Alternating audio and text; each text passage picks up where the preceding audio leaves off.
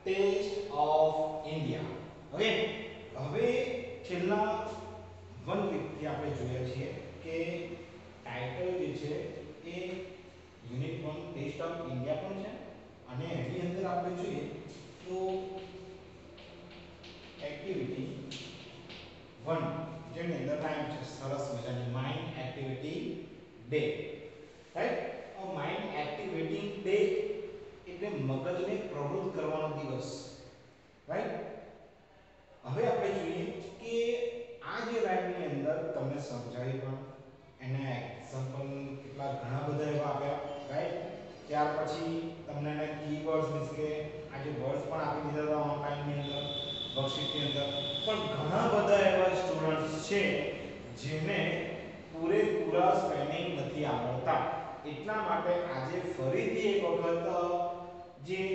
વિડિયોની અંદર મેં આ સ્પેલિંગનું શોર્ટ થોડુંક રિવાઇઝ કરે એટલા માટે મેં લીધેલું છે અહીંયા આપણે ફર્સ્ટ ઓફ ઓલ સ્પેલિંગ જે હાર્ડ વર્ડ કીવર્ડ છે એ જોઈએ કે M I N D mind A C T I A T I N G mind activating okay મગજને પ્રવૃત્ત કરતું યાદ રાખજો C I T Y city એટલે શું શહેર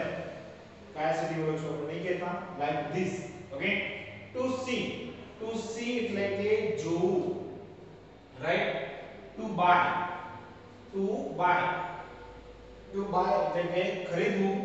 અને એનું આપણે ભૂતકાળ પણ જો છે, જે આપણે જોઈએ. B O U G H T bought.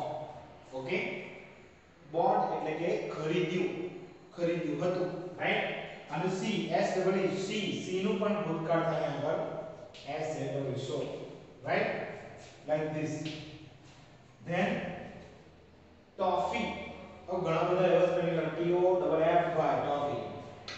T O double F double E toffee એટલે કે આમ ચોકલેટ પણ થાય અને આપણે એક મીઠાઈ પણ લઈ શકાય બરાબર છે એક મીઠાઈમાં બધું જ આવે ખ્યાલ પણ એકની વાત કરે ટોફી ટોફી મીન્સ એક મીઠાઈ ચોકલેટ વોટર ઓકે અહીંયા S O U R sour લખાય છે સા વ અને વ સાયલેન્ટ છે સા શાક એટલે કે ખારસ અથવા ખટાશ વાળું પણ કહી શકાય રાઈટ સોલ્ટ એટલે ખારસ અથવા એને ખટાશ વાળું ખાટું જે છે એ શાક right next flower F L O W E R flower એટલે કે ફૂલ ફલાવર નહીં કહેવાનું ફ્લાવર ફ્લાવર એટલે કે ફૂલ ઘણા બધા સ્ટુડન્ટ્સ એવું કરતા હતા flower flower no actually pronunciation flower next is a date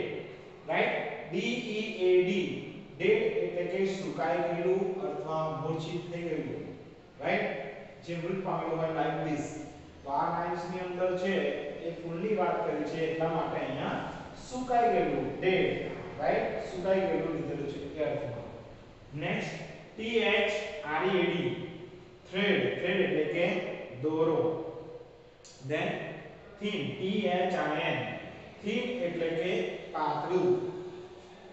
તો એનો ઓપોઝિટ વર્ડ પણ તમને કહ્યું હતું શું કહ્યું હતું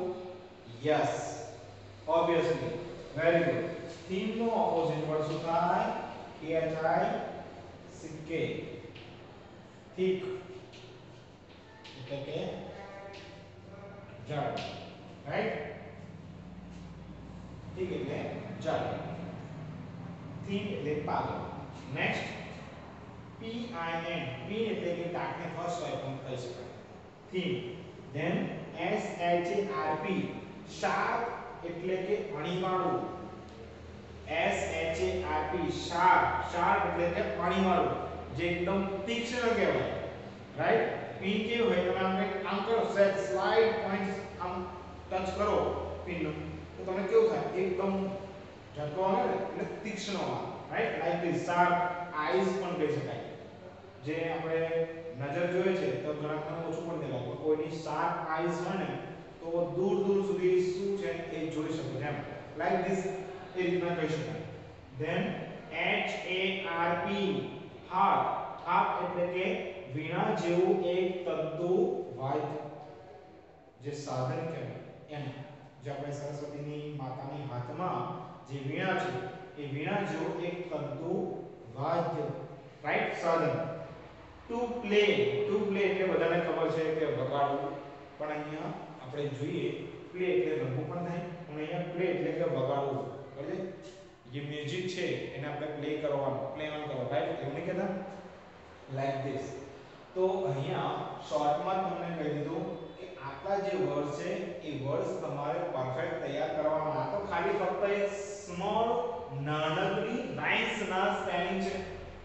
હજુ તો આખા બુક્સની અંદર ઘણા બધા એવા સ્પેલિંગ છે. તો તમે તૈયાર ખાસ કરજો. જ્યાં સુધી વોકેબ્યુલરી પરફેક્ટ નહીં કરો, જે વોકેબ્સ છે તે પરફેક્ટ નહીં કરો, ત્યાં સુધી તમને ખ્યાલ નહીં આવે. નહીં ઇંગ્લિશમાં રિલેશન નહીં આવે, પછી લખતા પણ નહીં આવે, કશું નહીં આવે. અન્ડરસ્ટેન્ડિંગ તો દૂરની વાત.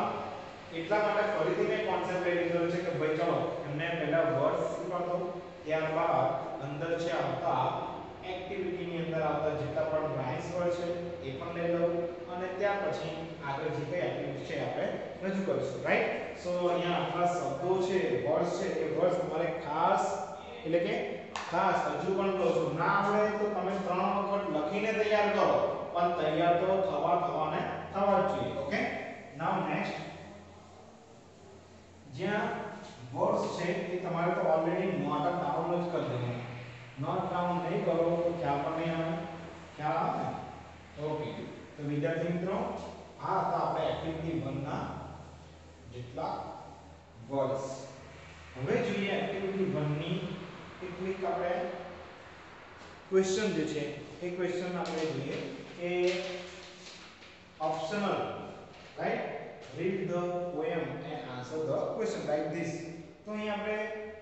કેટલાક ઓપ્શનલ પ્રશ્નો છે એ આપણે જોઈએ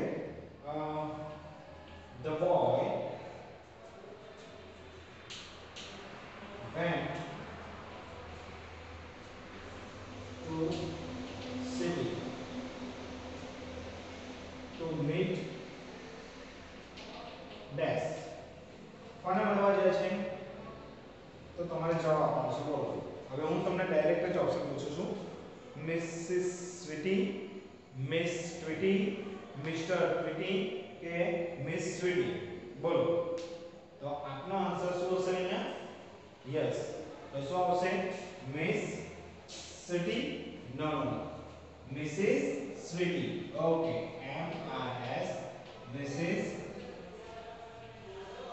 swimming.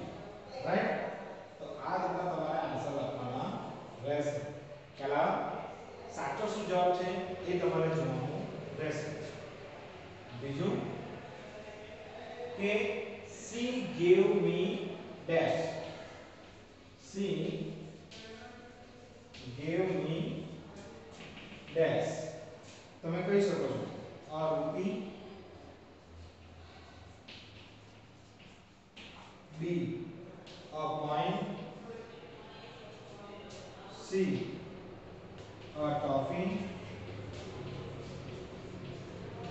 D a coffee બોલો સાચો જવાબ શું છે C gave me a dash ખાલી જગ્યા a rupee B coin C toffee કે D coffee બોલો She gave me a point no so આવશે yes very good ઘણા બધા વિદ્યાર્થીઓને જવાબ આવડે છે she gave me a rupee right a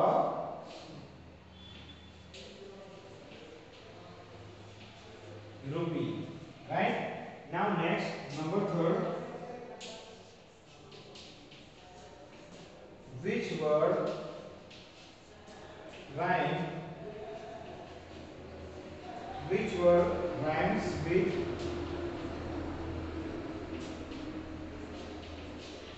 toffee toffee સાથે કયો રાઇમિંગ વર્ડ્સ છે કયો રાઇમ્સ છે તો આપણે જોઈએ સ્વીટી રૂપી સિટી કે ગેવ તો ટોફી જોડે કહો યસ વેરી ગુડ ટોફી જોડે સિટી નો નો આન્સર શું હશે આનો ટોફી જોડે કલર આવી છે તો rupee R U P double E rupee right which word rhymes with toffee toffee to rupee okay now next number 4 switch number 4 mrs b gave a rupee to my dash okay so question number fourth one mrs sweetie gave a rupee to buy dash. Answer શું આવશે તમારે જવાબ આપવાનો છે a chocolate b sweet or toffee or D coffee તો તમને બધા જ ખબર છે કે ફર્સ્ટ સ્ટાન્જાની અંદર શું કહેવા માંગે છે Mrs Sweety give me a rupee એમને મને પૈસા આપ્યા to buy a very good to buy a answer શું આવશે સાચો yes very good to buy a toffee not coffee toffee ખરીદવા માટે બરાબર છે મીઠાઈ ખરીદવા માટે ચોકલેટ ખરીદવા માટે એ પૈસા આપ્યા હતા રાઈટ તો આ રીતના તમારે આન્સર લખવાના રહેશે હજુ આપણે ઘણા બધા બીજા પણ જોઈશું ઓકે નેક્સ્ટ જો તમે આ ઓપ્શનલ છે એ એકદમ પરફેક્ટ તૈયાર કરજો કારણ કે ગૂગલ ફોર્મ ની અંદર પણ આપણે ટેસ્ટ લેવાનું છે જેની અંદર પણ તમને ખ્યાલ આવે રાઈટ હવે નેક્સ્ટ આગળ જોઈએ number 8 which word rhymes with flower okay which word rhymes with flower કયો શબ્દ ફ્લાવર નો રાઇમ વર્ડ છે okay a bot b thread c shop or d toffee તો which word rhymes with flower flower તો flower નો rhyme word શું છે flower તો શાપ બરોબર છે S O U R it's a sharp flower sharp is rhyme word બરોબર છે જેનો ઉચ્ચાર સેમ અર્થમાં થતો હોય પાછળ right like this number 6 which word rhyme with day ચલો which word rhymes with day which word rhymes with day બોલો ચલો ઓપ્શન છે or thread b sharp c flower d toffee બોલો વિદ્યાર્થી મિત્રો yes okay very good very good ચલો શું આવશે which word rhyme with date date તો thread e h r e a d તમે જુઓ કે અહીંયા date અને એનો આન્સર તમે જોઈ શકો ઇઝ પ્રોનાઉન્સિએશન જે કહેવાય બરોબર ઉચ્ચાર પાછળથી કેવો આવશે શબ્દ તો thread date date thread similarity લાગે છે right number 7 next the toffee was dash the toffee was dash toffee કેવી હતી બોલો ચલો તો the toffee was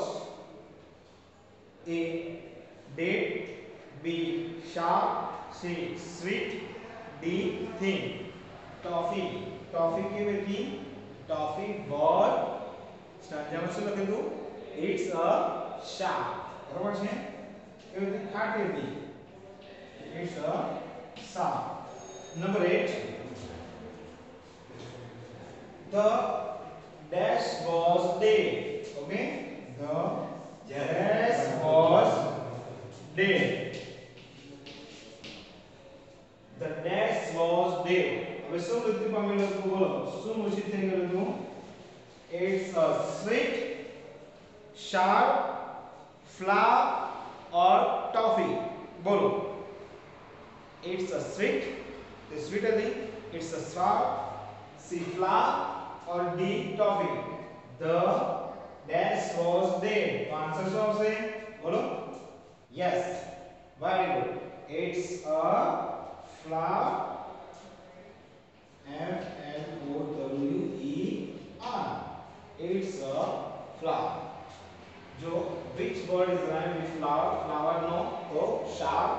Which word is rhyme with thread? તો thread. Rhyme word કયો છે? તો thread આવશે. The toffee was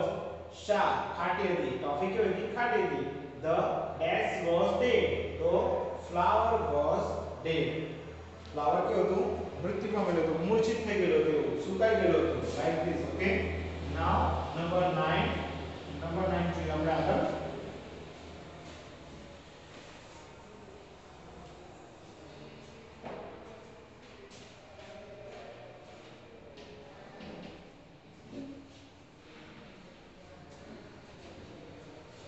were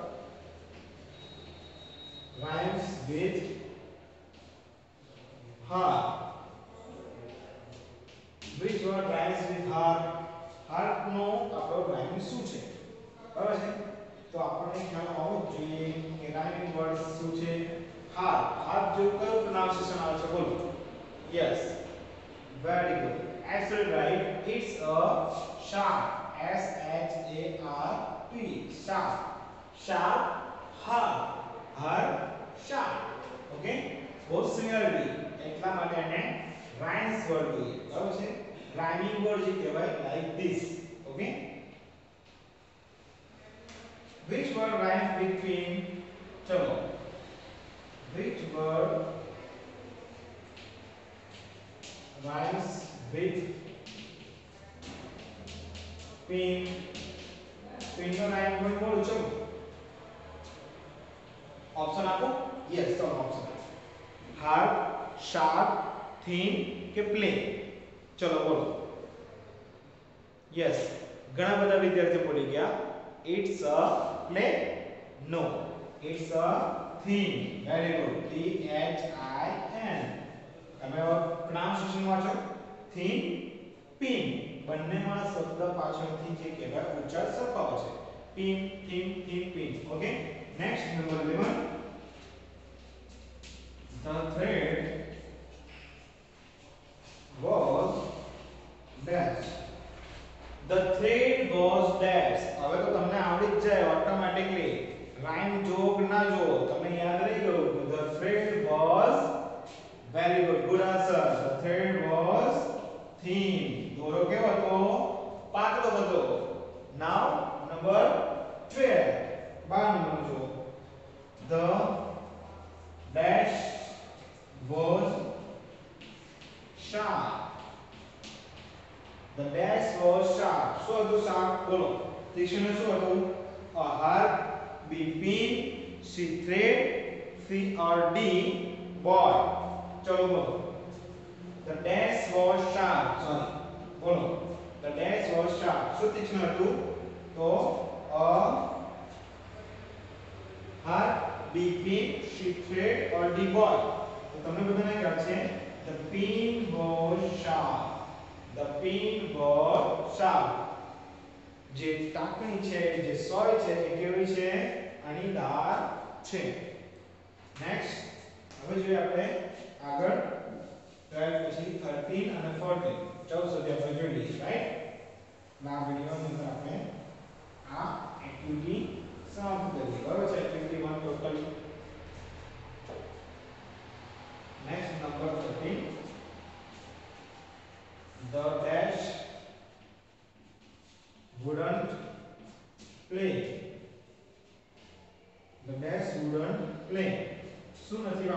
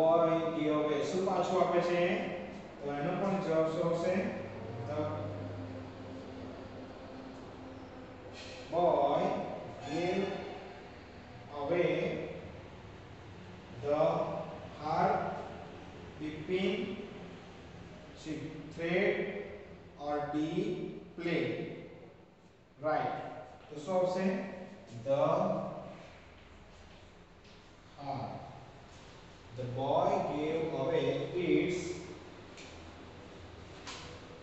heart બરાબર છે? હાર્ટને પાછું આપી દે છે. છેલ્લું કન્ફ્યુઝન હતું કે આમાં શું આવે? રાઈટ ધ બોય ગીવ અવે પાછું આપી દે. શું આ પાછું આપી છે તો હા, તો ડિયર સ્ટુડન્ટ્સ અહીંયા આપણે આ વિડિયોની અંદર જે કઈ એક્ટિવિટી 1 ની અંદર આવતા પ્રશ્નો પણ છે, વિકલ્પો છે, જે વોટેવર એ બધા જ આપણે ટોટલી સમાપ્ત કર્યા છે. અને તમે ગૂગલ ફોર્મની અંદર પણ તમારા સારા માર્ક્સ આવે એ માટે તમને best of luck thank you